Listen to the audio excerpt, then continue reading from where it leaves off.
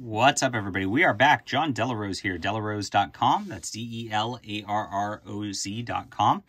Uh, this is Valerian the Complete Collection, Volume 3. Now, each one of these beautiful hardcovers has three complete Valerian stories in it. Uh, you don't really need to read one before the others. Uh, they kind of are all standalone for the most part. But I'm reading these in order. Uh, there's seven complete collections, and they're from Cinebook. They're absolutely beautiful. Uh, nice, nice, uh, nice hardcovers, uh, big art, he has some good interviews and things like that at the beginning of these books, and it's good stuff all the way around. Um, uh, my name is Jon Del Arroz. I am a number one best-selling comic creator, and uh, I have books on Amazon, which you can check out. If you like my my uh, my talk on comics and all that, I have sci-fi novels, I have comics, I have all that stuff. I hope you'll support the channel and grab that in the link in the description below.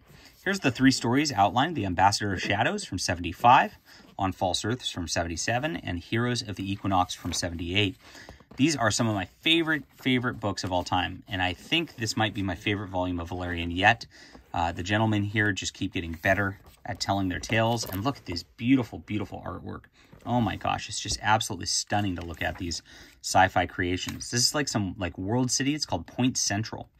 And uh, there's an ambassador of Earth who really is going to try to take over this whole deal because the whole galaxy revolves around this point central. And the ambassador ends up getting kidnapped uh, along with Valerian. And Laureline, uh, the gal here, this redhead, uh, has to go through a series of trials in order to uh, find them and bring them back again. So she's got this weird creature which produces money, and it's like this like little like like uh, it like burps up money basically and uh, it's energy, and energy's energy's key for everybody. So all these aliens will help her. They're all mercenary types, basically, on this Point Central, and she ends up in these weird situations with weird different cultures throughout the entire thing, until she finally finds them again. And then Earth, uh, because of their uh, their uh, a lot a lot of this ended up in the movie actually i think from from this in particular you see a lot of the cultures from this movie uh, even though the movie didn't really follow the plot lines here but um, the earth uh, ends up getting kicked off the station at the end of this uh, because they were uh, machinating to uh, try to take things over and uh, very cute storyline very neat um, now this one's called on false earths and you get a weird this one's a weird start and a weird storyline. I like the first one a little better. Uh, this had a cool little conclusion. But uh, you see all these different scenarios from different spots on Earth in like the late 1900s, early 20th century. And Valerian's in there. And he's trying to rush through to get to this point, and you don't know what's happening. But eventually, you get back to this starship, and Laureline and this other lady are uh, are sort of coordinating it. They're they're bringing down Valerian clones over and over uh, to try to get through these scenarios, and he keeps dying in all of them.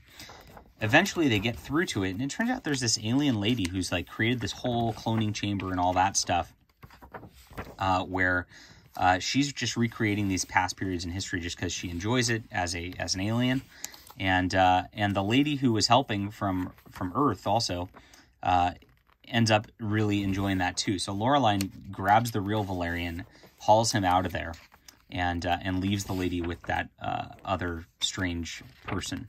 It's very bizarre storyline, and they end up going back in time uh, to Earth just to have a nice dinner. it's it really cute, enjoyable stuff. And then this gets to Heroes of the Equinox, another wonderful storyline. Just look at the art. I just like this is perfection in comics. Everybody, uh, I really uh, am inspired by this, and it makes me long for more comics like this. I don't know why there's not more sci-fi comics like this one. That's just so beautiful to look at. Oh my gosh. This one, uh, Valerian is chosen as an Earth representative uh, for this like competition on this like strange planet, and they're gonna they're they're going to like do a mind, body, and soul competition. Look at the beautiful architecture and all the line work that's done with this. Absolutely amazing stuff right here.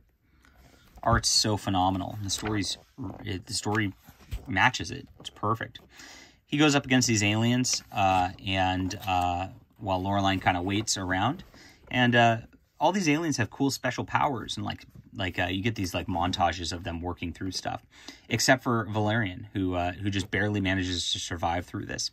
And it turns out that there's this alien lady, uh, and she wants to repopulate her planet, so she chooses a champion every time uh, and she chooses Valerian uh, to to build her new children, and they have uh, a, a, million little uh, Valerian children together.